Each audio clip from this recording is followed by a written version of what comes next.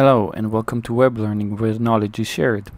In today's quick video I'll show you my new design that I'm sharing with everyone. This is a 7S battery holder.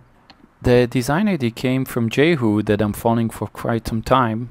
Lately he started testing a PCB that he made, a 7S battery PCB that he made in order to quickly build a small power bank that you can connect either as one or you can put them in parallel. Following his uh, videos, I saw he had some issues with thermal cooling, the way that the PCBs were connecting, and some other th issues that I thought I can uh, improve on his design. So I went to EasyEDA and I drew quickly uh, seven batteries in series. I put a header for BMS, a small fuse, thermal fuse, a jumper for the thermal fuse, and some jumpers for the batteries and I'll show you how all of this is working. So starting from the top view, all the batteries are, are sitting minus at the bottom plus at the top. They are all connected in series in the bottom layer. So this is the ground plane, then the plus, minus, plus, minus. So 1, 2, 3, 4, 5, 6, 7. The output of the 24 volt goes through a thermal fuse. The thermal fuse also can be jumpered uh, with just a soldering iron right in those two pins so you don't have to place it.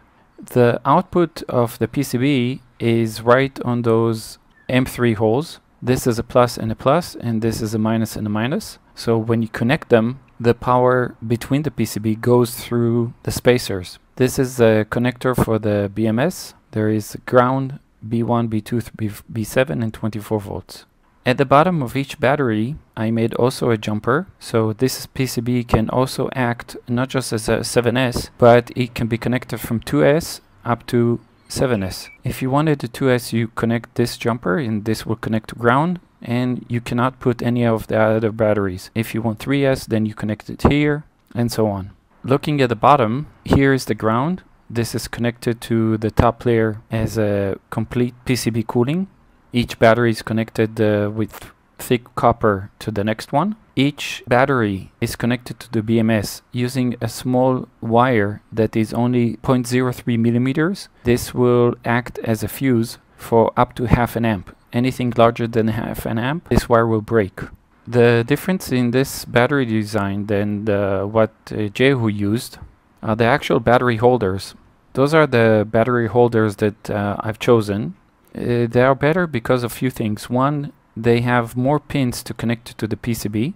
They have those clips to hold the PCB in place so it won't fall off. This is the biggest issue with the, the cheap holders that if you move them around, if you want to build your own battery pack and you want to take it, then you have to build a box and a case and you make sure that uh, they don't move. With those battery holders, nothing will move. Also, the clips and the battery and all the pins will dissipate the heat much better from the battery to the PCB. In the design that I made, the, the holder of the battery will solder completely to the PCB. So you get better thermal dissipation from the battery and the clip to the PCB. The next thing that I'm using, as I said, those are M3 spacers, but they are brass. Conductivity is much better. I uh-huh. will use most likely the 20 millimeters because the battery itself is 18 millimeters high. And headers to connect between the two PCBs. The next phase of this design, uh, if you want to join to any of my registered users, I'm planning to build a 7S PCB with a microcontroller BMS. So the idea is to have one of the STM32 connected as a battery management system that will do overcurrent, overcharge, discharge, everything to the microcontroller with minimum parts. So if you want to join, put your name in the comments below and when I'll start doing the design, I'll uh, reach out for you and we'll see how we can do this all together. I hope you enjoyed this video. Don't forget to subscribe and click the thumb up and leave any comments. Anything that you do will help this channel. Thank you.